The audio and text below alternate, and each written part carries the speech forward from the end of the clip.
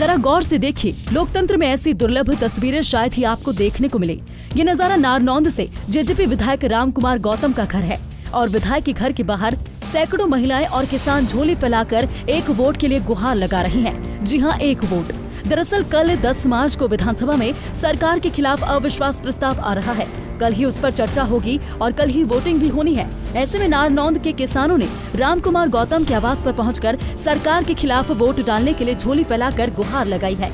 किसानों का कहना है कि हमने हज़ारों वोट देकर राम कुमार गौतम को विधायक बनाया है।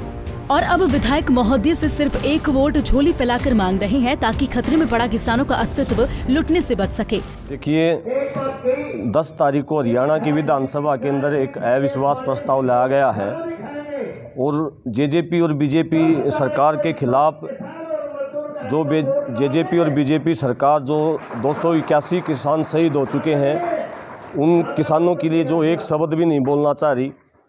जो जेजेपी, बीजेपी सरकार किसान जो लगातार तीन महीने से ज़्यादा समय दिल्ली के अंदर बैठे हैं, उनके विषय में एक शब्द नहीं बोलना चाह रही।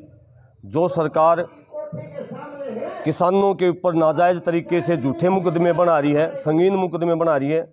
उस सरकार के खिलाफ में वोट डालने के लिए आज हम नारनूंद के पूरे हल्का से गांव-गांव से किसान और मजदूर आया है और ये मांग करी है। हम, हम हमने जो है हमारे जो विधायक हैं माननीय राम कुमार गौतम जी से जोड़ी करके हमने उनका एक वोट मांगा है क्योंकि तीन चार बार उन्होंने इलेक्शन लड़े हैं हमने बार बार उनको वोट डाला है। आज पहली बार किसान मजदूर उनका एक वोट लेने आया है और वो वोट जो जनता की वोटों से ही उनका एक वोट बना है।